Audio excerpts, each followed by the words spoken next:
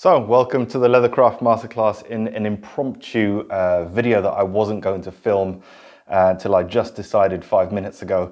So, uh, paring stones is the subject that I wanted to share with you and my experience buying a new one uh, today, in fact.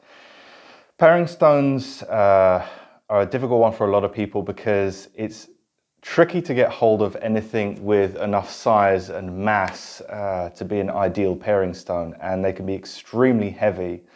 And if you can find them online they can be exceedingly expensive uh, to deliver more than the cost of the paring stone itself to deliver.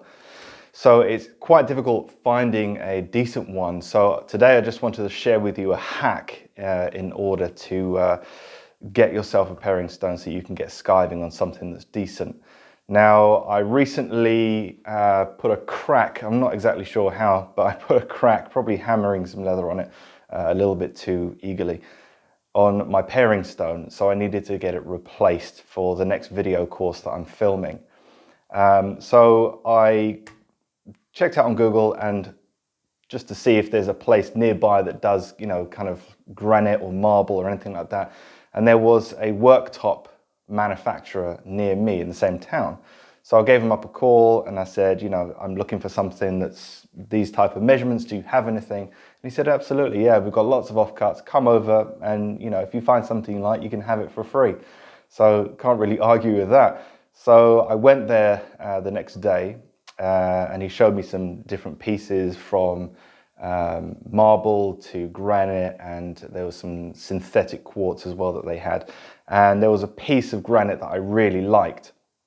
Uh, so I asked if I could have a custom cut because I didn't really want to take you know take something from them for, for nothing. It's very kind of them but I prefer to kind of support local so I said you know can you cut me a piece? I want it inch and a quarter thick 15 millimeters deep and 25 uh, 15 inches deep millimeters and 25 inches wide.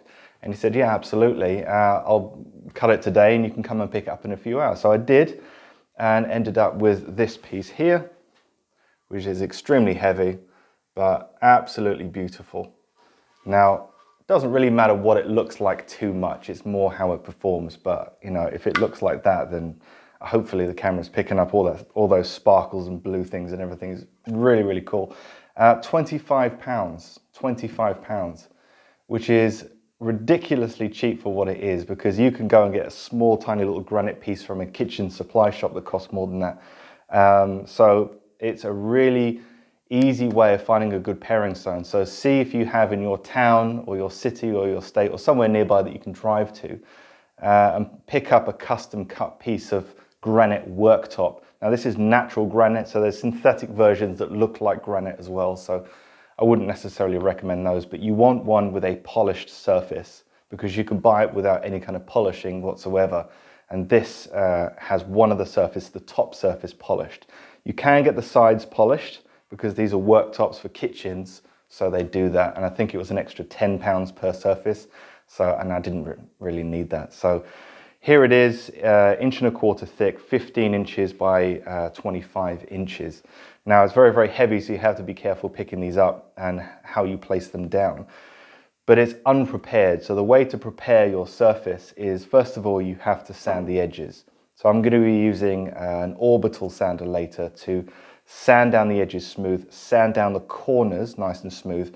Otherwise, if you're, you know, taking say this is a handbag panel, this is ostrich skin.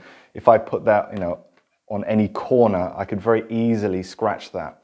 Uh, and that's an expensive mistake to make. So you need to sand down the corners. Doesn't have to be a lot, um, but just so it's nice and smooth and it's not gonna catch anything, especially these sharp corners here. Right now, they're very, very sharp, so it, it wouldn't be advisable to use. Uh, on the underside, I like to put on these bigger pieces uh, one I had in the past that was quite large, not quite this large, um, is HDF, high density fiberboard. It's just um, general hardboard that you get that goes underneath pallets and things like that. A lot of DIY stores, hardware stores have them and supply them very, very cheap. Three mil thick, two mil thick, something like that, and then glue it to the underside just so that you can slide it around on your table if it's this size. Um, and also it deadens the sound a little bit more as well. I wouldn't necessarily put anything soft like having a cloth like this. This is just to protect the table surface before I apply something underneath. Um, but if you have something that's too soft that flexes, it makes it easier when you're hitting the paring stone with a piece of leather to put a crack in it. So you want something that is quite hard in itself, like high density fiberboard. Um, and that means that you can move it around on the table easier as well. So just wanted to share just a quick video about how to get a decent paring stone uh, that you can do all your paring on. Very, very smooth, nicely polished surface for next to nothing really. I almost got this for free if I wanted to find a piece that they were throwing away. So it's definitely worth finding uh, a kitchen, countertop, worktop uh, shop that specializes in stone um, because it's really, really easy and really, really cheap to pick up one of these and it doesn't have to cost the earth. So I hope you enjoyed this video. If you like it, please remember to subscribe, give me a thumbs up and turn on your notifications. I'll see you next time.